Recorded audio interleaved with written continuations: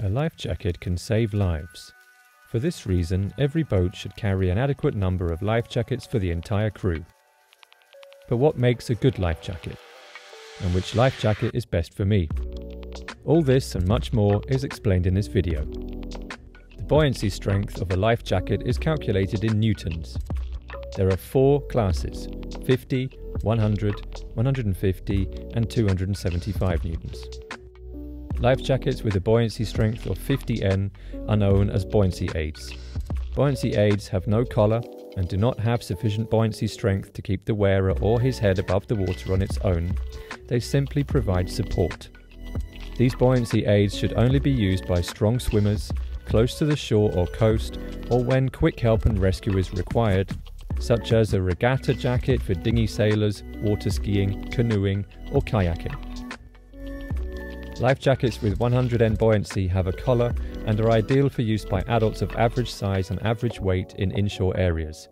100N life jackets are usually foam jackets. They do not have to be inflated in an emergency and are ready for immediate use. Life jackets made of foam are therefore particularly suitable for use when they do not need to be worn permanently on board, but only as the situation requires. These life jackets are not suitable when sailing in difficult conditions. Life jackets with 150N buoyancy are inflatable life jackets. They are great for coastal areas and are very popular with motorboaters. In an emergency, inflatable life jackets are filled with CO2 either manually or automatically when they come into contact with water. Thanks to the comfort of movement and their lightweight, automatic or semi automatic life jackets are the best solution for long time wearing without heavy clothing. Automatic life jackets with 275N buoyancy are the right choice for the high seas and extreme weather conditions. Especially if you wear offshore clothing or heavy protective gear, a 275N class life jacket should be chosen to compensate for the volume of air trapped in the clothing in an emergency. Life jackets in this class are also usually worn permanently on board and must therefore offer the greatest possible freedom of movement.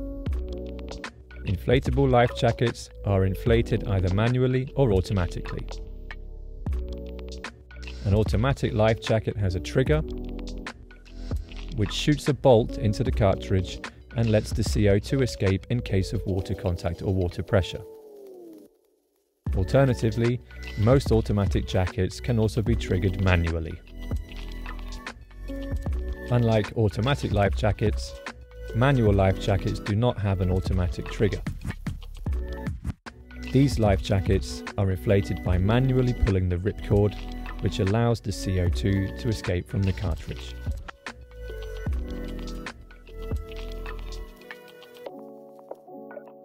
Life jackets also differ in their features.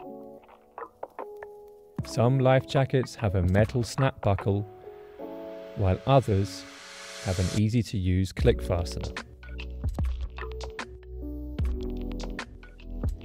Some also feature an inspection window through which it is possible to quickly see if the trigger mechanism is ready for operation. Jackets with an integrated neck fleece are more comfortable to wear than jackets without.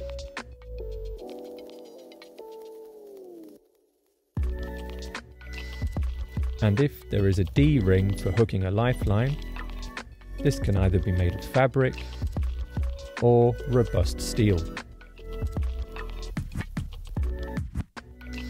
There is also a difference in the number of crotch belts a jacket has. And the back of the jacket either features a simple belt or a closed textile back part. But usually all life jackets have a valve to adjust the air pressure of the buoyancy chamber, and a signal whistle to draw attention to yourself in an emergency. Reflective strips increase visibility. Most automatic life jackets can be fitted with emergency lights to increase the chance of a quick rescue in poor visibility. Some lights are stuck directly onto the air chamber and illuminate the whole jacket. Other manufacturers use external lights. A lifeline connects your own life jacket to an attachment point on board. If a person falls overboard, he is safely anchored to the boat by the safety line and can easily be brought back on board. Lifelines are available as a solid strap or flexible stretch line. There is also the possibility to integrate a distress beacon into the life jacket. This combination ensures an even faster rescue from the water. A spray cap works in a similar way to a hood. In an emergency, it can be pulled over the head, and the wearer is thus protected from waves and splashing water. The life expectancy of an automatic jacket is 10 years. During this period, the life jacket should be serviced every two years. Regular life jacket maintenance ensures that it is ready for use in an emergency and functions as intended. In order to find a life jacket with the suitable buoyancy strength, the body weight of the wearer plays virtually no role. This is because a life jacket should primarily keep the wearer's head above water to keep the airways free. And since each person's head weighs roughly the same, the circumstances of use and the clothing worn under are decisive when choosing the right life jacket. For sailing near the coast, we recommend life jackets with 150N. Offshore sailors with heavy clothes should wear a life jacket with a buoyancy rating of 275N.